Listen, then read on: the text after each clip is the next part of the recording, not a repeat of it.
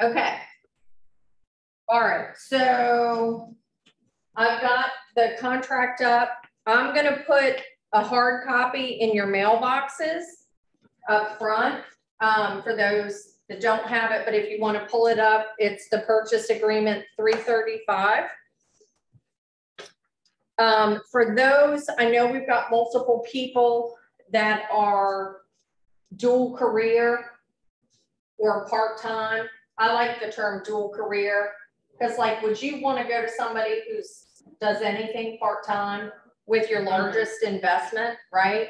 So even more responsibility on you dual career people to know what you're doing because you're fighting against people that do know you have another job. And they're like, how can you still help me? So your time has to be much more focused on knowing what you, you need to do so that your time is efficient and effective, right? Um, so I want to go over some of that today. For the dual career, I am doing an evening class on Wednesday from 5.30 to 6.30. So for those that can't come in, I'm going to start doing those once a month again. I used to do them every month and people would say, we need something in the evening and I would schedule it and I would take time for my family and be on and I'd have nobody show up. And I prepared all this material and sometimes one person would show up. So I really want you guys to take advantage of that evening class too, if you need. And even if you're not dual career, you can still, if you need to get some more information, another great opportunity. Okay, does that make sense? All right. And for you guys online, while I'm doing this, I may not see you in the chat if you have a question. So feel free to speak up and say, hold on, okay? Um, we're gonna go through this quickly. This is not a full contract class. There are contract classes in our YouTube channel that I really encourage you to go out there and look at. One of the biggest things you need to do is take a page a day, and in a week, you will have read this entire contract. It is so important, you guys. So many contracts I look over and I'm like, you check this box, how come? And they're like, I don't know. Mm. You know, one of my practice ones I checked that box. And I'm like, well, you practiced on a house that had lead-based paint needed, but this one isn't. Don't just check boxes just to check them, y'all. You've got to know what the paragraph in boxes with line items, what things mean, okay? There are a couple things that I wanna go over. Um, number two, I need a volunteer to read number two, personal property. If I don't get volunteers, you'll be voluntold. I can. Thank you. Oh, Jamia, we didn't get to introduce you. I'm sorry, hon. Introduce yourself. So, hey, everybody. My name is Jamia. Um, I've been with Keller Williams since um, September of 2021.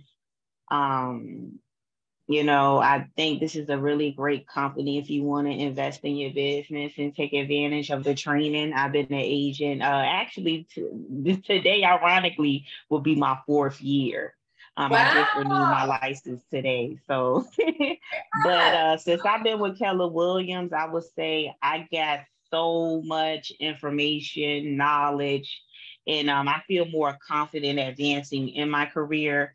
Um, I'm working with buyers and sellers. Um, I got one under contract last month. I'm working with uh, a buyer and a seller this month. Um, so, you know, take advantage of the training. You know, Patrice is a really good, you know, coach. Take all her advice in, you know, don't wait to the last minute. Thank you, Jamia. All right, go ahead. Thank you so much. All right, go ahead and read personal property included. All right, hold on. I'm about to pull up the contract right now. Y'all there. This is going to be on the new one, correct? I think it was revised in July. Yes. Yep. Okay, okay. I'm about to pull it up right now. So it shows personal property included. Can you guys hear me? Yep. Okay, so it shows included in the sale of the above real estate if located within said property at the time of signing this agreement, unless otherwise noted, are shades, plantation shutters, blinds, curtain, and drapery rods, screens, and uh, screen doors, storm windows and doors, light fixtures, wall-to-wall carpeting, garbage disposal, range, oven, dishwasher, laundry tubs, attic fan, smoke and heat detectors, on all means, hopefully I said it right, uh, electric, okay, electrical wiring connections for appliances, ceiling fans, garage door openers and remotes, mailbox and post outbuilding and sheds, gas logs, fireplace inserts, and all other items attached to the real estate and being part, um, including all shrubbery and plantings on the property. Also included are the following items, which will, you know, show whatever else you want to add. Awesome. Thank you. All right, you guys. A lot of times on contracts, I'm seeing you guys handwrite in either in section 23 additional terms or even right in this paragraph, right under it, people are putting dishwasher, stove or oven to convey, and it's already in here. So what do you think that tells the list agent when you submit a contract where you're asking for things that should already convey? Read it or Right. Shaquana said it tells them either that you didn't read it or you're new. So the other thing with personal property that you need to be careful of with someone getting a loan is the mortgage company will not lend on personal property. So it's different when they say washer and dryer or refrigerator convey with the property, put that in additional terms. Um, you can put it up here, but I've seen more often uh, if they're a newer mortgage lender or a mortgage lender that is really strict about it, they'll say, if it's in number two, we're gonna have to have you correct it.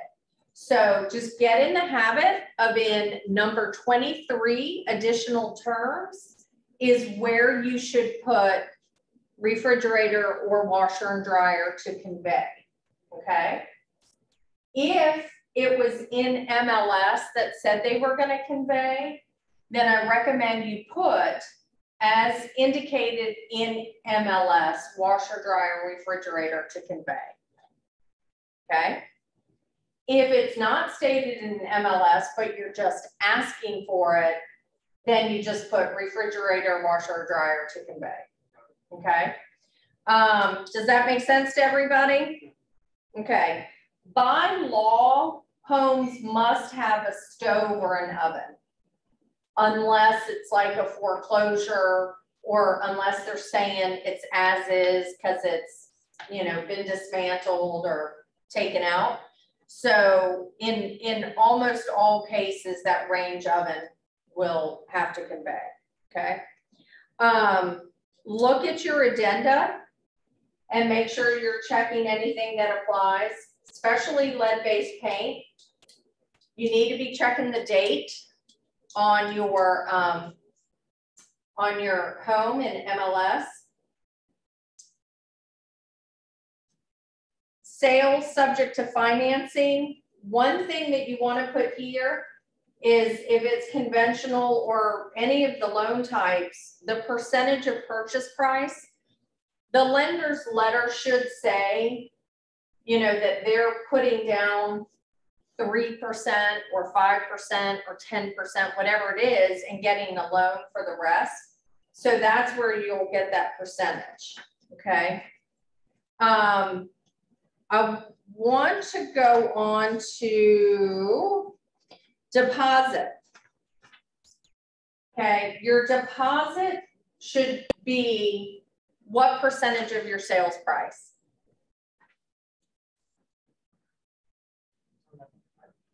Nope. No. wait a minute.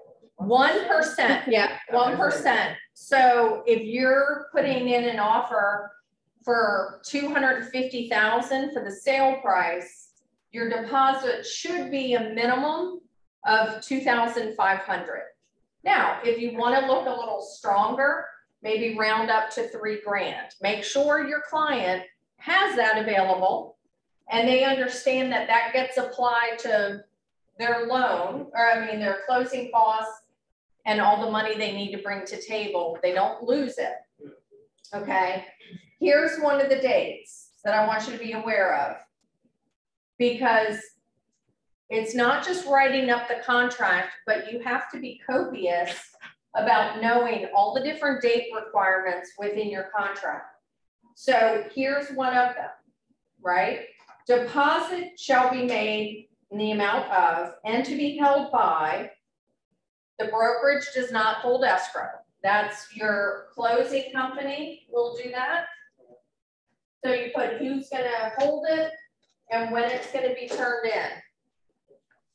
Typical might be five days, but if you're competing or wanting to show that you're a serious buyer, you should do three days. I've even done it sometimes when I know they're gonna be on I'll even put it's to be turned in within one, one day. But you can only do that if you know for sure they're gonna be able to meet that requirement, right? Mm-hmm. All right, so I'm gonna put contract deadlines. And then we're gonna put them in the order.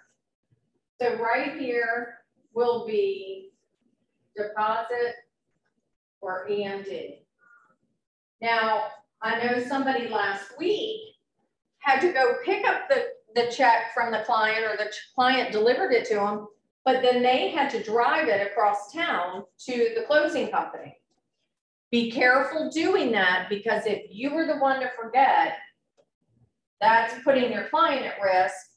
If your client says there's no way I can get over there, can you help me? Then yes, it's good to get into that. It's also nice, right? If that's something value add to help your client. If you use Vesta, they have an app that allows your client to write that check at home and take a picture. So nobody has to drive anywhere. So that's that's good to know. So again, deposit within escrow. If your client fails to deliver the EMD on time, based on this contract, who could be at risk? You, guys. Your license. So you need to stay on those people. And so that may be why, as an agent, you go, you know what? I'm going to take it myself. But whenever I did that, I always made sure someone knew. I have a check in my purse. If I if I get hit by a bus, somebody needs to get that check. Yeah. Seriously, that's why like I was a nervous wreck. I'm like, this will be my luck, is you know, I'll get hit by a bus and mess up a deal. Um, so that's that's one of your dates, right? Um, settlement possession, number nine. Shall be made in the offices of, again, that's where your buyer selects who they want to do their closing. And then you have two boxes, right? Who wants to read the first choice? Shaquana, Shaquana wants to read that. I'm like, what? I guess a date, you make up a date. Right, so put in a date, and then what does it say after the, the year?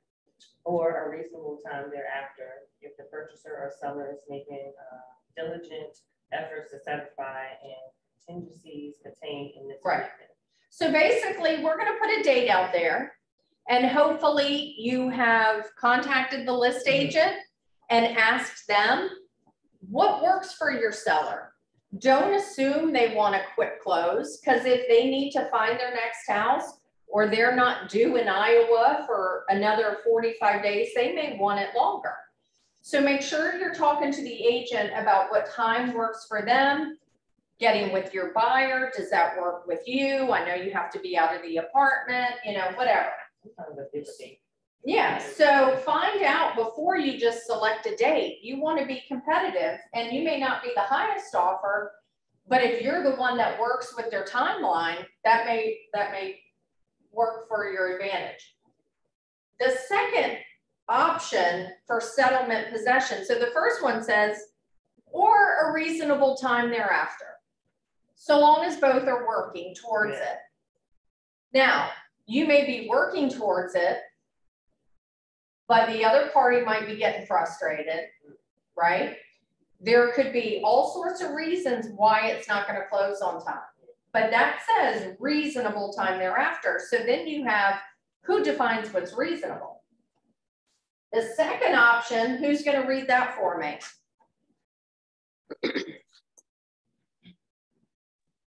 I can read it. Thank you so much.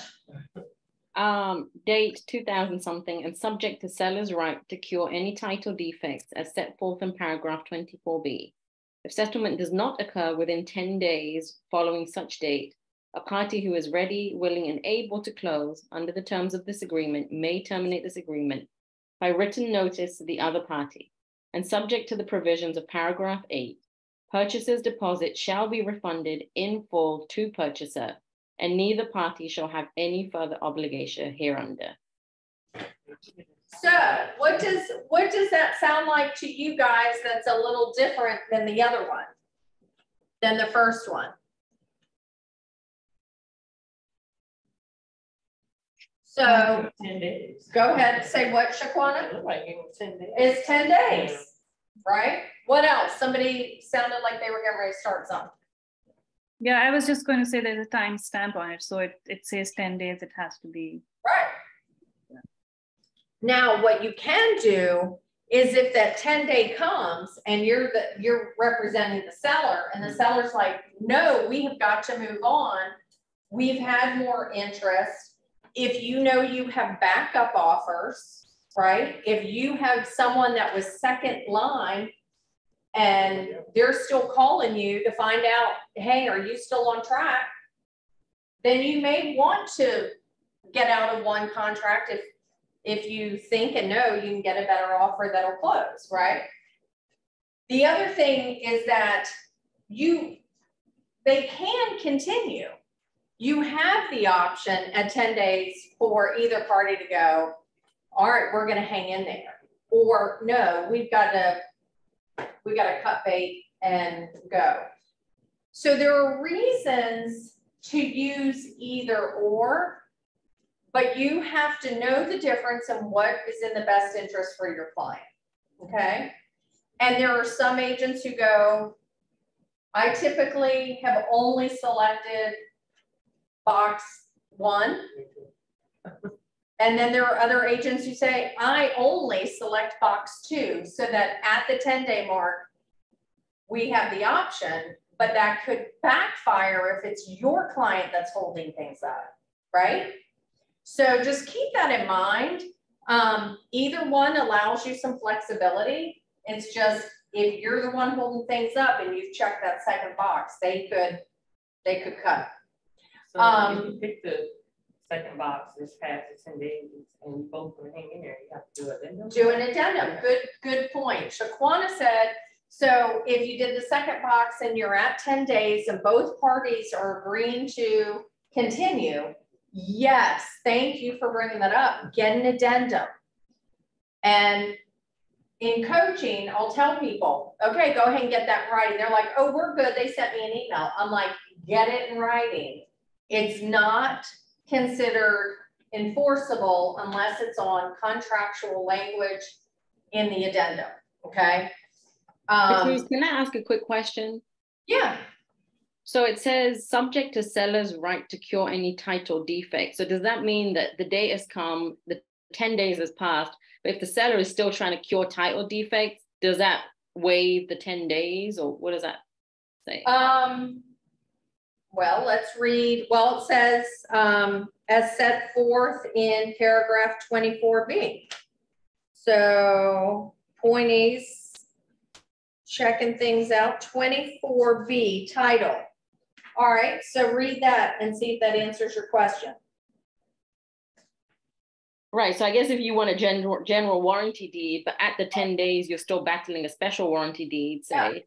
Then you have, then you can continue the, on past those ten days, is that one Right, and this says if the defect is not cured within thirty days, after they, after the seller receives notice of the defect, then either party may terminate at the expiration of the thirty-day period by written to the other party.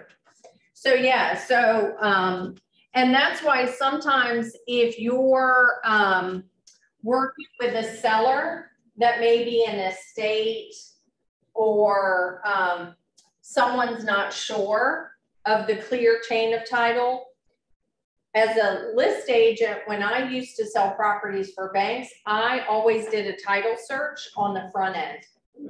Because I didn't want to surprise a week before closing, because normally the title search comes in near the end. So if it's land, you might find out in a title search that someone titled three acres of the twenty to a niece or nephew and they mm. built a home on it. So you don't have twenty acres, you have seventeen.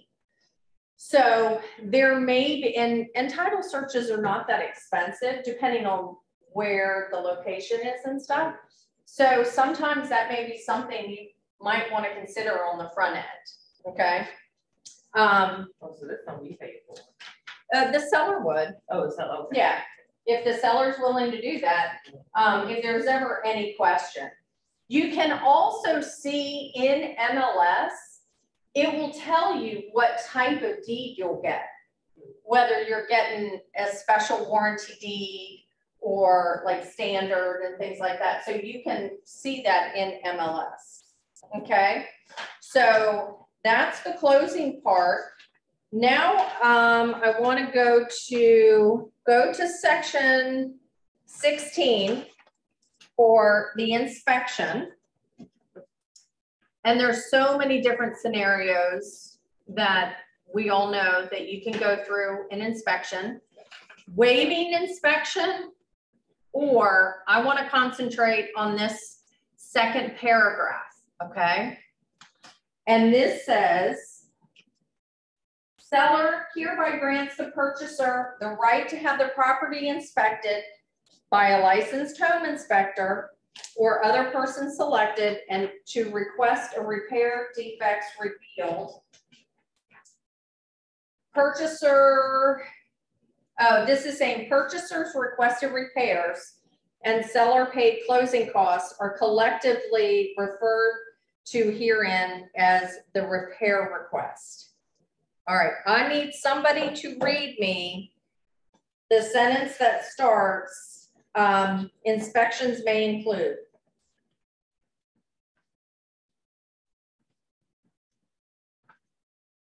Inspections may include, but are not limited to, all structural and building components and systems, radon ga- gas, underground storage tank, soil condition, environmental testing, and engineering studies.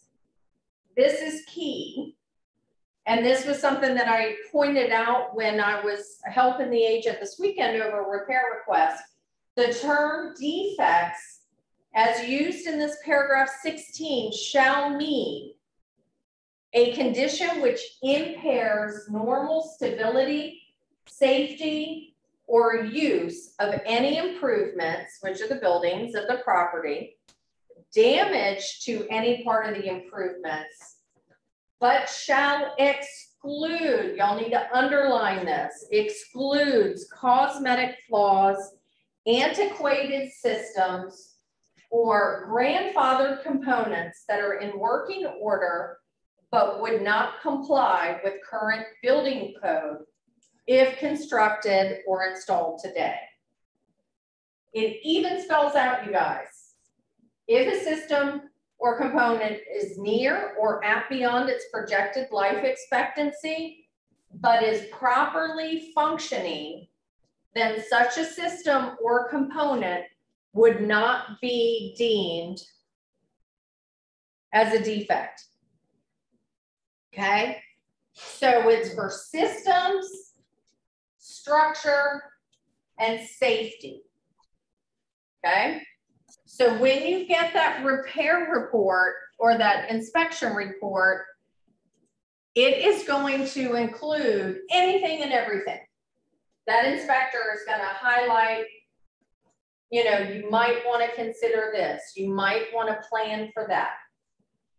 Focus on just the things that are either red, like a, a those are the ones that are truly safety or concern, big concerning items.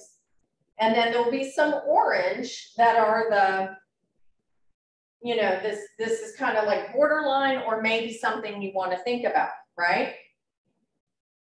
Um, an example though of something that was on there that I used so that everybody can learn from this was if trees are trees and shrubs, right? When you go to list a house, you should cut back those things and make sure the bushes aren't overgrown up against the house and hitting windows and stuff like that. So this inspection showed that and said, you know, this is this affects moisture on the house and limbs over the roof can damage the roof and cause issues. Because of some of the other items that were in the inspection, like, I don't think that's something that should be a major um, request because the price for that was four to five thousand dollars. They also recommended that any tree within 15 feet of the house be removed. So it was four to five thousand dollars.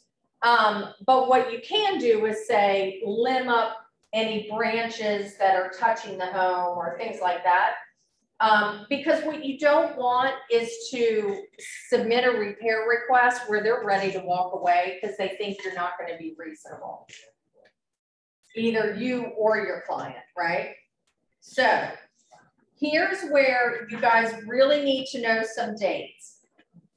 The second paragraph says, purchaser shall provide seller with all inspection reports, cost of repairs, and purchaser's written request no later than blank days after ratification.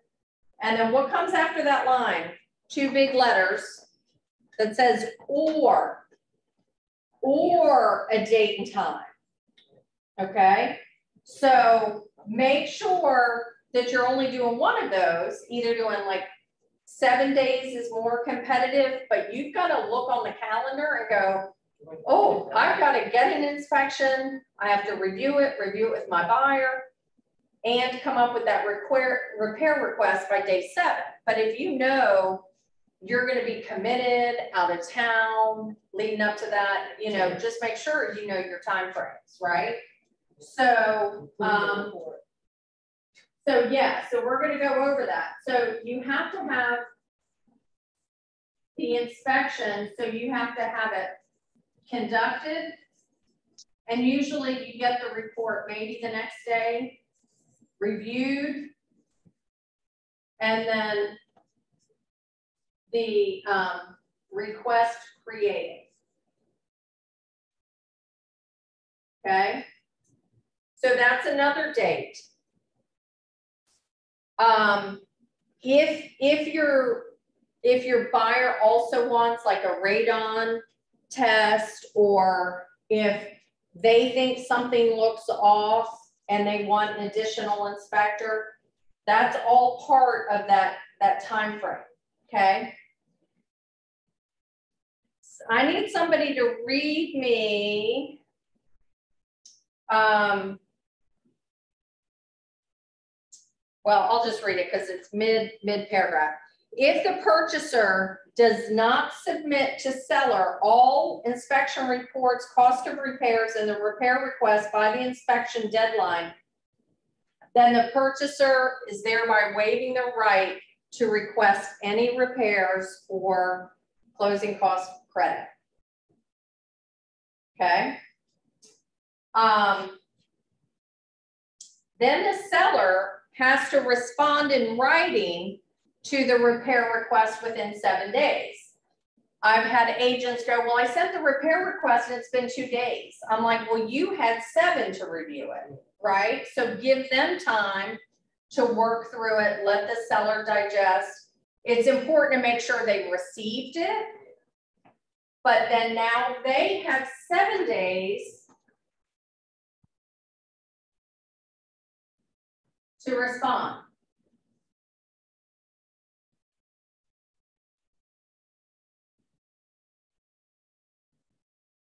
Okay. And Yeah, I got then, oh, go ahead. Yeah, I just had a question on that part. So, um, yeah, I do see that it shows seven days on the seller's behalf, but what about the purchaser? Uh, like, for example, if you receive a counter offer on a repair request from the seller, does the purchaser also have seven days, um, to negotiate? How about you go to page five and read that second paragraph. Oh, okay, yeah, that's probably what it was, okay. So Hold on. yeah, You want me so to read that- it out loud? yeah, go ahead for everybody. Okay, okay, hold on, I'm about to pull up the contract right now, y'all bear with me. Okay, let me just go ahead for sake of time. If by Oh, five okay. p.m. on the seventh day of negotiation, no final agreement is reached on the repair request, then the purchaser shall have until five p.m. on the second day after the end of negotiation, right? So now buyer has two days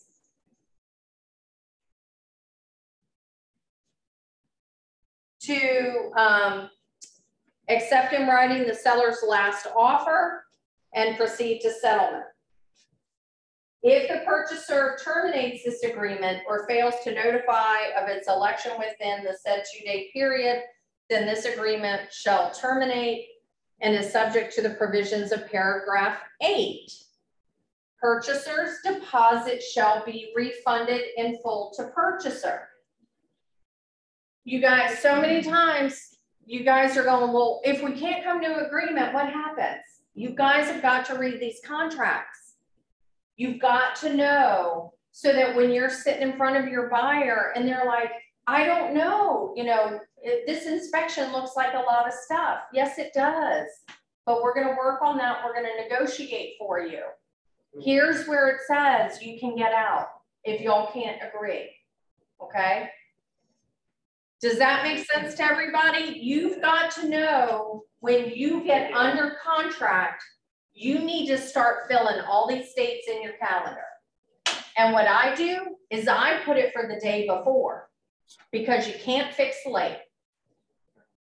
And if you miscount your days and miss your repair request, your buyer no longer has the right to ask for any of those. And agents have told, will tell you that they have had to cover that themselves to make up for that. So don't, don't do that. And even if you're using a transaction coordinator, yes, that is part of their job to keep all that stuff on track. But sometimes I'm like, hey, where are we on the date? Because in my mind, I'm thinking we're pretty close. And they're like, oh, yeah, you know, I just moved or I oh. had, had an issue. And I'm like, so it is ultimately your responsibility. So make sure you're watching that. This optional paragraph that's in here is also very confusing. This doesn't have to do with dates, but since we're on the inspection part, this paragraph is or is not applicable. If no box is checked, then it is automatically not applicable. I think that you should get in the habit of still checking a box so that you're learning, hey, I've got to make sure that this is in line with what my buyer wants. If no box is checked, then the paragraph is not applicable. If the paragraph is applicable and the purchaser is dissatisfied with their inspection results, then in lieu of submitting the repair request, they may then terminate. So if you get that inspection report and they go, nope, don't like it. It says that there's mold and there's structural, and there's roof, I want out. That's when you should do that. However, most seller agents, if they see that, they're gonna be like, nope, they're not willing to work with us. And that'll put you on the bottom of the pile. If you accidentally type that it is applicable, they might redline it when they counter. But to, to a lot of them, they're gonna think it means that you guys are gonna be ready to run at the first issue. The second box saying it's not applicable means you're gonna request a repair addendum. Now you might say, I want structure, mold, and roof fixed. Then it's up to them to say yay or nay. But you're negotiating. So if you're trying to be competitive in this market, it needs to be is not applicable, okay? Now, one thing to keep in mind is if something is being sold as is, then there's, there's some different nuances with that, okay? Now I wanna keep moving to, um, oh, somebody coming in late. Oh, Varda, Varda's coming back. Um, okay, so then when we get to the date on the acceptance of the contract, number twenty-one, acceptance. That's gonna be your first date, right? Because you're filling that in. And you're generally putting that pretty quickly after you put it in. You guys, do not put nine or 10 o'clock at night or 11 o'clock at night for an acceptance time frame. This is number 27. It's at the end of the contract, but it's your first date that you need to be aware of.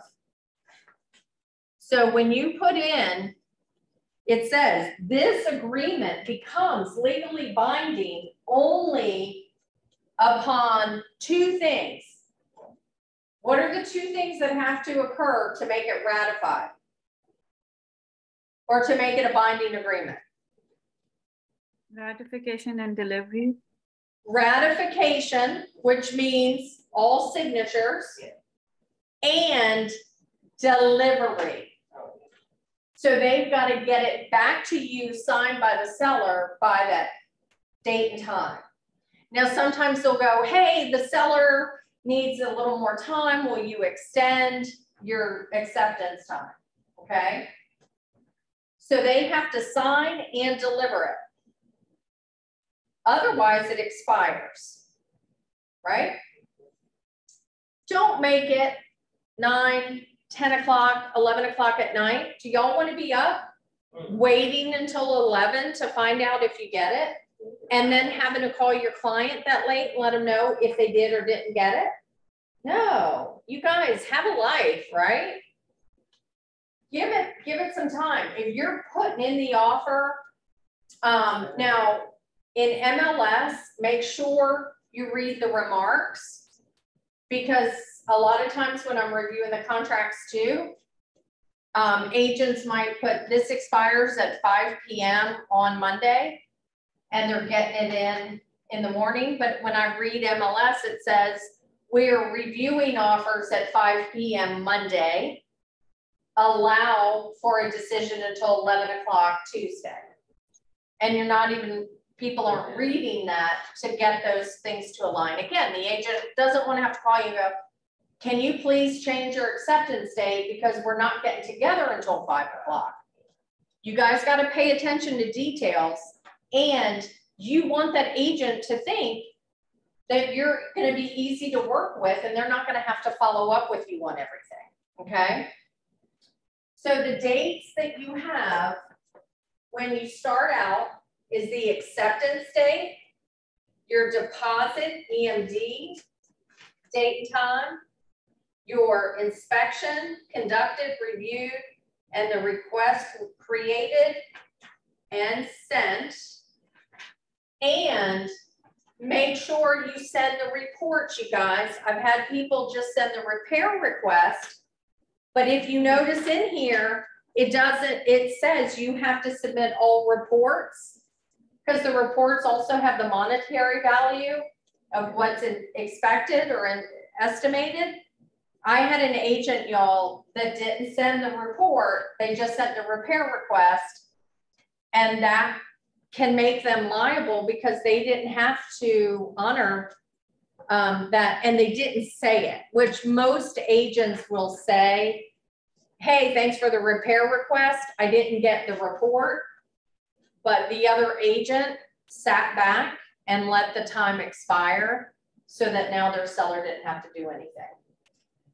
So, and I'm not done yet. I got another date I'm putting up there, so leave room. Um, so does that make sense? So you gotta make sure you're following all of that. So send in, uh, all of that and sent with the report.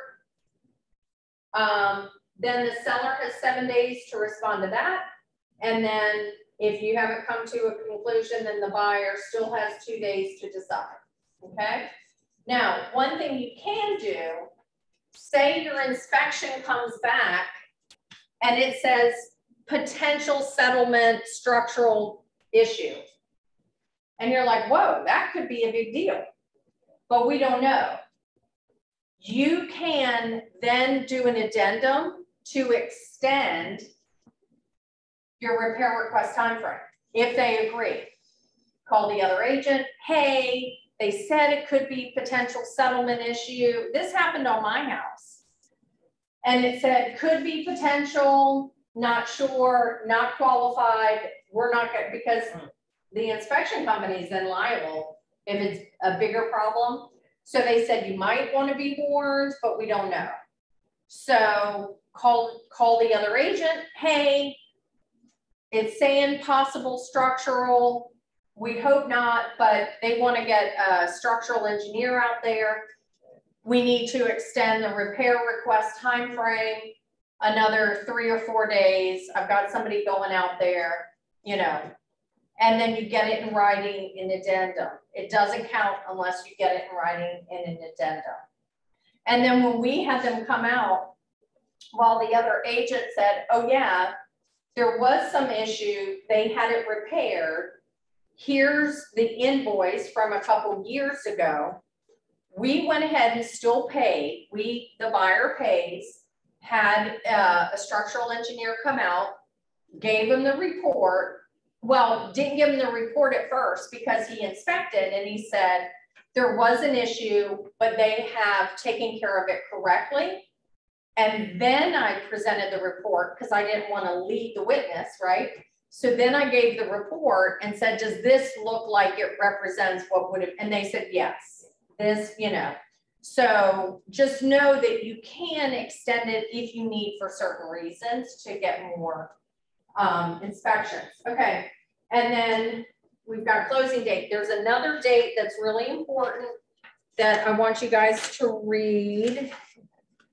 Uh, if you go back to the financing. Okay, number six, financing. It says,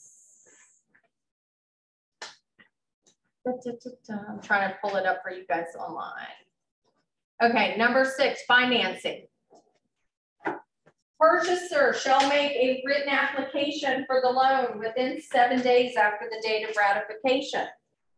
So you guys, when you have a pre-qualification letter, that's just a pre-qual. That's just them saying, based on what they told me for income, for debt, I pulled credit, looks like they're in this price point. But they have to physically or do the formal application. Most people do it as soon as they get their offer. You should be telling your client, hey, make sure you, you go down the path to get your loan going. But this is saying that they have seven days to do it after ratification, right?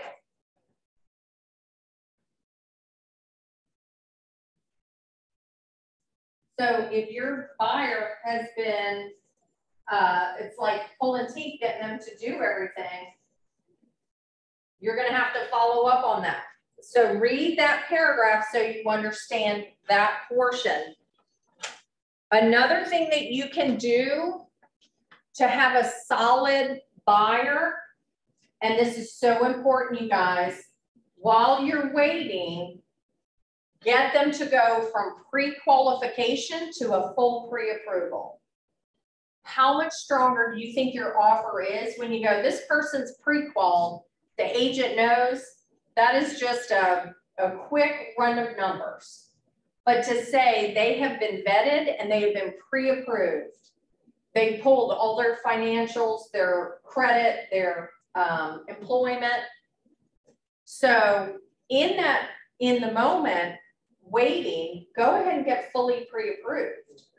Okay, so keep them working on that. And then the other thing is the, um, So you said That they're they- waiting For, uh, say again? they're waiting for what? They're all. So like, just say they're like, okay, I'm pre-qual, and you're like, okay, there's nothing on the market in that area right now. We're gonna wait, I'm, I'm looking for a Oh, certain okay. area. Okay, well, while you're waiting, get with your lender on getting fully pre-approved. So when you go find something, you're already. Right. Or, cause if you lose one deal and you're like, yeah, you know, one thing that could help is if you get all your documentation to the lender and let's get you fully pre-approved. So some lenders will do what's called a commitment letter that says, we are committed and we can give you a loan. So that is a much, much stronger way, and especially if you're working with first-time buyers, that's where there's so much more risk that something's gonna pop up. Oh, they didn't take into account child support they have to pay, or, you know, whatever it is. So make sure that they know they're gonna have to get the rest of their stuff in. I, again, I'd rather get a surprise at that point than when you're under contract. Um, the other thing is that, um, the buyer has to request their, oh, here it is, under number five, appraisal, and then we're, then we're done. Um, number five, appraisal. Is or is not subject to an appraisal equaling the purchase price, that's a whole nother conversation. Um, I was working with somebody this weekend, their buyer is putting down like thirty-five percent. So I said, well, you can make your offer stronger if that lender says, yeah, we're not gonna do an appraisal because they're putting so much down. Then you can waive appraisal and also have a stronger offer. Some people and some lenders may still wanna do it, even if you're cash, ask your client. Some cash buyers still wanna know that, that the property appraises.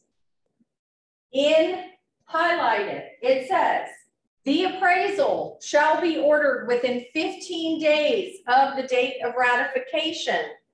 It is the responsibility of the purchaser to advise the lender of this requirement. I put that on my schedule. So that's usually gonna fall like here. Now, it doesn't say that the appraisal has to be done by fifteen days, it just says order, right? Most lenders wanna wait till you've gotten through the repair request before they order an appraisal, because it costs a lot of money and your buyer's having to pay for it. So they wanna make sure you get through the inspection, repair request, and, um, and then they'll do the appraisal. So they may order it at day fifteen, but order it four days out to allow you time to get through that, okay? The other is if you have a CIC, who remembers what that new term stands for? It just started in July. It's Oh, the, that condo thing? it's, well, not just condo, it's the old HOA. Now it stands for Common Interest Community. So if you have a common interest community and you get those docs, your buyer has three days to rescind their offer based on HOA docs. There may not be anything wrong with the docs, but if they saw a house that they are just to die for in love with and they want to bail out on one contract, HOA docs is a way to do it. But here's the thing that's so important, y'all. That three days starts from when the agent sent it to you. If you're sitting on it and you don't see it for two days, mm-hmm. your buyer has one day. So I always ask agents, hey, will you please text me when you send that to me? And then make sure you get it sent to your buyer right away and that they know that they're on a strict timeline to back out. People who have boats or trailers or campers may find that they can't park those in the neighborhood. So then they have to decide if they want to proceed, okay? So you got a lot of dates up here. I'll take a picture and send it to you guys online where we've been tracking these. I'll type it up, send it out. And then um, on Wednesday, if anybody wants to be on that evening class, I'd love to see you on that. Thank you guys for being here. Beverly, I know you're working on something. If you need more help with that today, let me know. I will. I will. Thank you so much. You're welcome. All right, thanks, everybody. Thank you, Patrice. Have a great one. Thank you. Thank you. Day. Bye. Bye.